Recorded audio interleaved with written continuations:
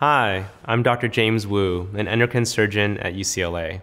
Today, let's talk about how we monitor patients after treatment for their thyroid cancer.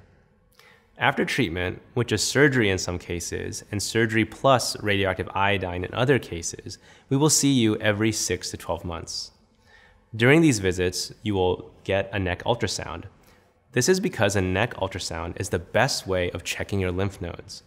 When thyroid cancer grows back after treatment, it almost always goes to lymph nodes first, and those can be seen on ultrasound.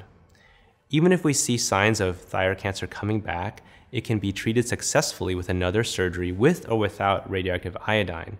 This is why close, careful monitoring is very important. When you have your entire thyroid gland removed, we can also check a special blood test. This test is called thyroglobulin and thyroglobulin antibody. It shows how much thyroid protein is in your blood.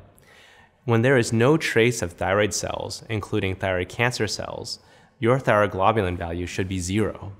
Therefore, when all the thyroid has been removed, high levels of thyroglobulin tell us that thyroid cancer could be growing back. As the thyroid surgeons at UCLA, it is our practice to keep following your progress to watch for any recurrence. Since thyroid cancer grows very slowly and can come back many years later, we follow your progress for a very long time. For more information, look at our website or call our number for a consultation. Thanks for listening.